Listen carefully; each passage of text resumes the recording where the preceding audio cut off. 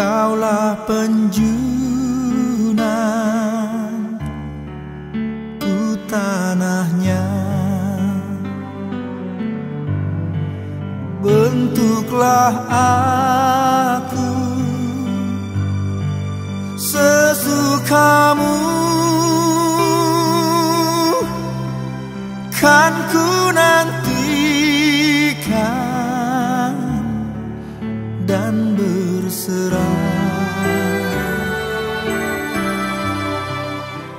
Salam jumpa kembali Bapak Ibu dan saudara-saudara. Hari ini kita akan bersama-sama belajar bagaimana kasih Tuhan itu mampu untuk membuat kita selalu baru, berpenampilan baru, bukan dengan pakaian duniawi, tetapi dengan kehidupan baru dari hati, roh, pikiran, jiwa yang akan muncul di dalam kehidupan melalui penampilan kita. Kita akan bersama-sama membaca firman Tuhan dari kitab Yeremia pasal 18 ayat 1 sampai 6. Mari kita akan awali dengan berdoa.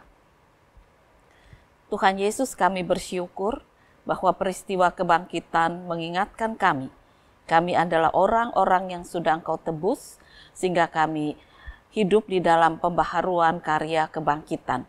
Oleh karena itu, biarlah penampilan baru kami ini dapat dirasakan sebagai sukacita bagi orang-orang di sekitar kami, sebagaimana kami juga bersukacita karena kebangkitan Yesus yang membawa kami dalam kehidupan baru.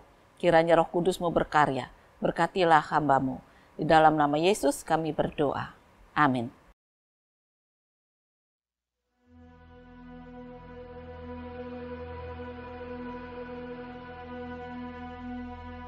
Firman yang datang dari Tuhan kepada Yeremia. Bunyinya, Pergilah dengan segera ke rumah tukang periuk. Di sana aku akan memperdengarkan perkataan-perkataanku kepadamu. Lalu pergilah aku ke rumah tukang periuk, dan kebetulan ia sedang bekerja dengan pelarikan. Apabila bejana yang sedang dibuatnya dari tanah liat di tangannya itu rusak, maka tukang periuk itu mengerjakannya kembali menjadi bejana lain menurut apa yang baik pada pemandangannya.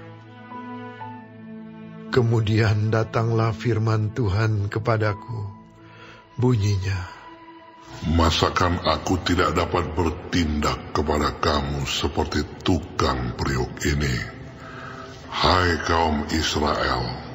Demikianlah firman Tuhan. Sungguh, seperti tanah liat di tangan tukang periuk. Demikianlah kamu di tanganku, hai kaum Israel. Bagaimana kabar Bapak Ibu dan saudara-saudara? Kita akan tetap merasa hari ini sama dengan hari kemarin? Mungkin kemarin dulunya lagi? Atau kita merasa ada sedikit perbedaan? Ya. Meskipun mungkin sedikit, tetapi mari kita rasakan itu adalah karya kebaikan yang Tuhan berikan. Jadi jangan rasakan sama, tidak ada bedanya, tidak ada perubahan apa-apa. Nah itu eh, orang-orang uh, yang statis, orang-orang yang tidak bertumbuh. Tetapi firman Tuhan mengajarkan bahwa betapa berkuasanya Tuhan. Kalaupun ada bejana yang rusak, kalau itu dibawa kepada tukang periuk, maka tukang periuk itu akan membuatnya baru sehingga tampilannya menjadi baru. Mungkin bisa sedikit ditambal, tetapi tidak jarang juga itu akan dihancurkan dan dibuat bentuk yang baru sehingga pemilik e, barang itu akan melihat miliknya menjadi milik yang baru. Padahal yang dulu mungkin sudah retak, sudah kotor, tapi karena dihancurkan dan dibentuk baru, ya menjadi baru. Dan itu yang dikatakan Tuhan, bahwa dia mampu untuk menjadikan umat Tuhan itu berpenampilan baru. Bukan lagi sebagai orang-orang Israel yang hidupnya dikenal sebagai orang yang bertuhan tetapi uh, mereka banyak kemunafikan, kebohongan, kekerasan dan sebagainya. Tuhan ingin orang-orang Israel itu disebut sebagai umat Tuhan yang berpenampilan berbeda dengan dunia ini. Nah, firman Tuhan juga disampaikan kepada kita, bagaimana kita bisa berpenampilan baru hari lepas sehari.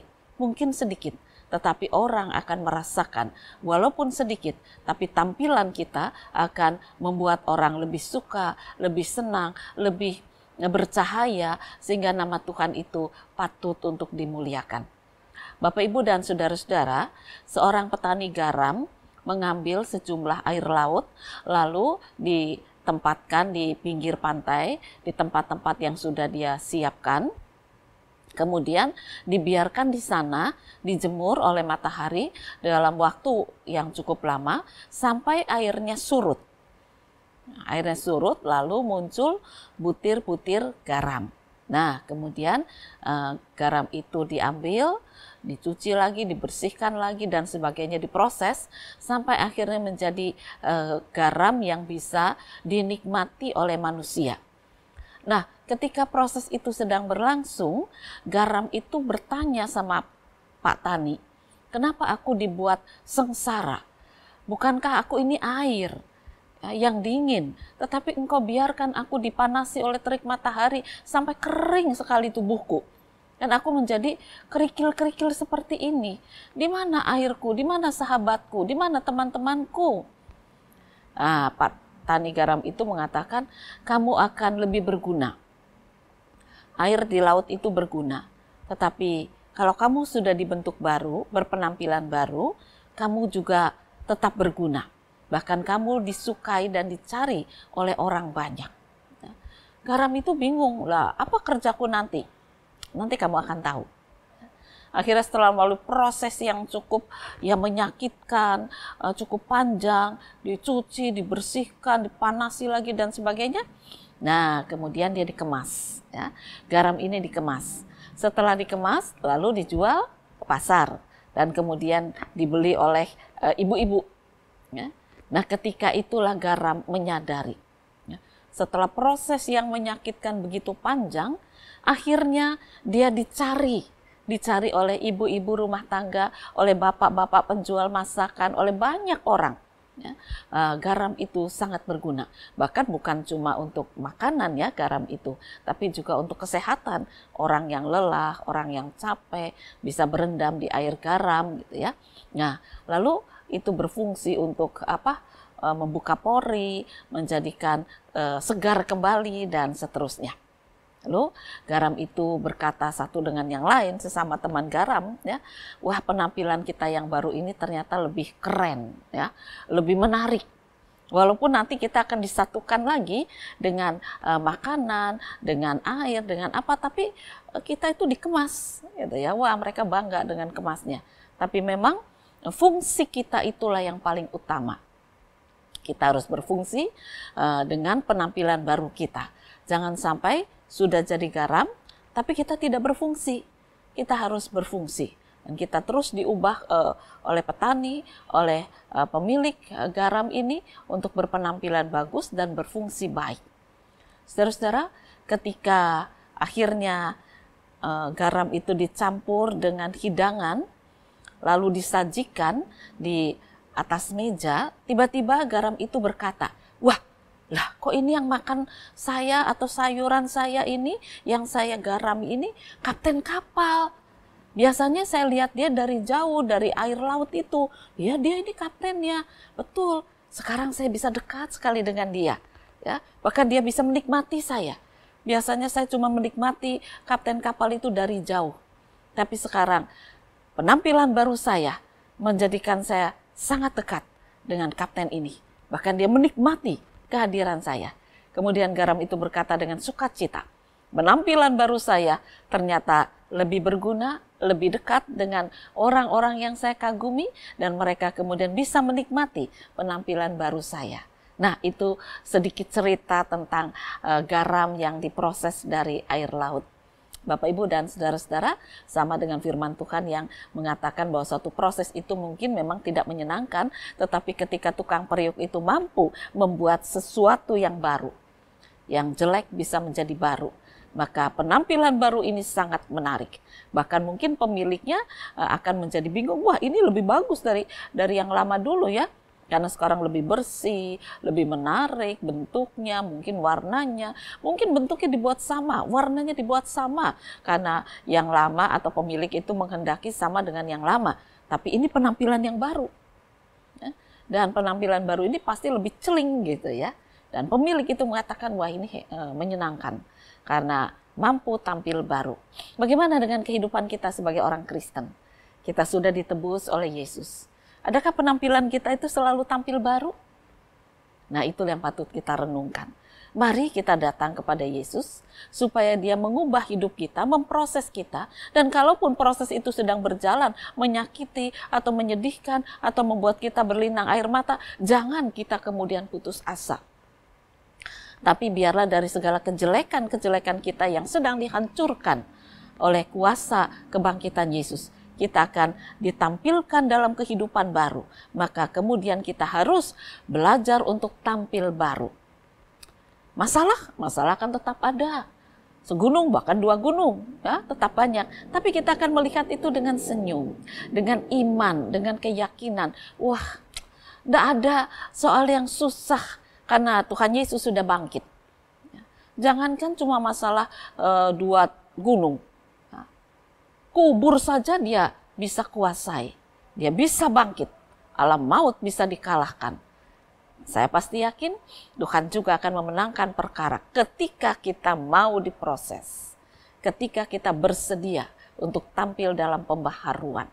Ya, mungkin uh, kita berhadapan dengan masalah lalu sedih, lalu mari kita mencoba dengan keyakinan iman berkata bahwa kebangkitan Yesus membuat saya berpenampilan baru ada masalah saya tidak boleh kecewa. Ada masalah saya tidak boleh marah. Ada masalah saya tidak boleh gelap. Ada masalah saya tidak boleh menangis. Ada masalah saya tidak boleh uh, putus asa. Ada masalah, mari kita bersyukur. Tuhan terima kasih saya sedang diproses untuk berpenampilan baru. Tuhan terima kasih bahwa penampilan saya akan memuliakan nama Tuhan. Tuhan terima kasih bahwa penampilan baru saya ini akan menuntun saya menuju surga. Tuhan terima kasih segala masalah dapat kami atasi karena Engkau hidup. Nah, penampilan baru inilah yang akan menjadi uh, pertanyaan bagi banyak orang. Gimana sih kamu punya masalah kok bisa senyum-senyum? Oh, karena saya punya Tuhan. Nah, dulu memang saya sedih Dulu memang saya menangis, tetapi ketika saya sudah diubahkan oleh Tuhan, berpenampilan baru, dimampukan oleh Tuhan untuk tersenyum, untuk kuat menghadapi setiap masalah. Karena setiap masalah di dalam tangan Tuhan Yesus yang hidup adalah terang. Tidak ada kegelapan, tidak ada kebuntuan. Yang ada jalan kehidupan. Nah, kalau kita selalu tampil baru setiap hari, maka penampilan kita ini akan membuat kita bersuka cita menikmati hidup, berpengharapan terus, merasakan karya kebangkitan, dan juga memuliakan kerajaan Allah. Jadi mari kita tampil baru, sebab Tuhan Yesus sudah memberikan pada kita kehidupan yang baru. Selamat berkarya, Tuhan memberkati firman-Nya. Amin. Mari kembali kita akan berdoa. Bapa di surga sering kali kami tetap berpenampilan lama, penuh kebencian, kemarahan, kecengkelan, kesedihan, ketakutan, kegelapan, tidak menunjukkan engkau hidup dalam diri kami. Ampuni kami. Sekarang ubahkan kami supaya kami tampil baru. Kami ingin melalui proses yang sedang kau lakukan. Walaupun proses itu butuh waktu dan menyakitkan. Tapi ketika kami sudah jadi hal yang baru, berpenampilan baru, kami akan dekat dengan sesama kami, kami dekat dengan Tuhan, kami punya harapan, kami punya sukacita, kami punya kekuatan berkaryalah ya Tuhan. Inilah doa kami dalam nama Tuhan Yesus Kristus. Amin. Jadilah Tuhan kehendakmu Pilihlah aku dan ujilah sucikan hati